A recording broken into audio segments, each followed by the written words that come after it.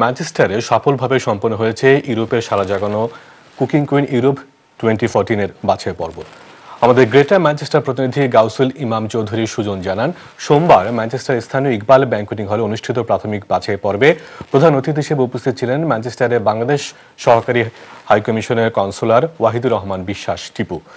বিশেষ অতিথি হিসেবে অনুষ্ঠান উদ্বোধন করেন এনটিভি এর ডিরেক্টর মোস্তফা সরওয়ার। অতিথি হিসেবে উপস্থিত ছিলেন লন্ডন টাওয়ার হ্যামলেটসের সাবেক mayor Matinuzzaman, এনটিভির north west Midlands bureau chief Farsu Ahmed Chowdhury, cooking queen two thousand থার্টিনের বিজয়ী সেলিনা বেগম। বিশিষ্ট কমিউনিটি ব্যক্তিত্ব মীর গোলাম মোস্তফা ও গাউসুল ইমাম চৌধুরী সুজনের যৌথ পরিচালনায় শুরুতে পবিত্র কোরআন থেকে তেলাওয়াত করেন তাহের আলী। বিচারক হিসেবে দায়িত্ব পালন করেন গ্রেটার ম্যানচেস্টারের বাংলাদেশ অ্যাসোসিয়েশনের চেয়ারম্যান মইনুল আমিন বুলবুল, বীর মুক্তিযোদ্ধা ডাক্তার নজরুল ইসলাম সুরাবুর রহমান, ডিএন কুরাইশি, ইকবাল আহমেদ, খন্দকার ট্রাস্টের সুফি মিয়া ও সিদ্দিকা আহমেদ।